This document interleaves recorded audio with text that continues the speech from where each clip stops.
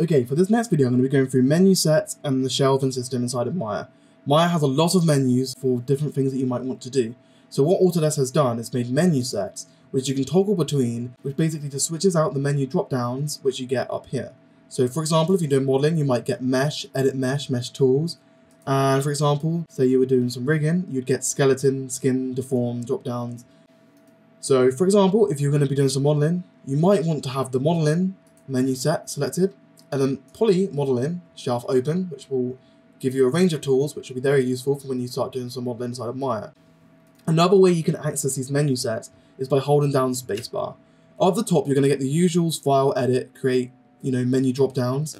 And then down here, you'll be able to see that you've got all the modeling drop downs, and um, all the rigging ones, animation ones, effects, and rendering ones.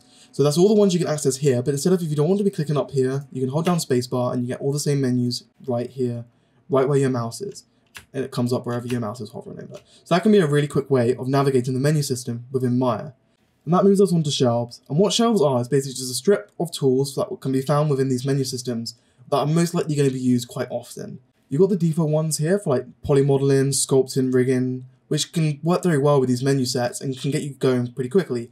But what you're going to want to do as you find tools that you like is to create your own shelf. So over here, I've got a shelf full of tools that I use quite frequently, like history, um, freeze transformation, center pivot, a toggle for showing the normals, and then basically just poly creation tools.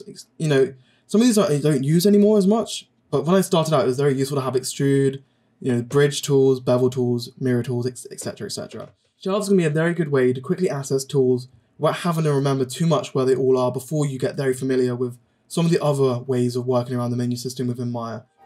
I hope you found this video interesting, and I'll see you in the next one.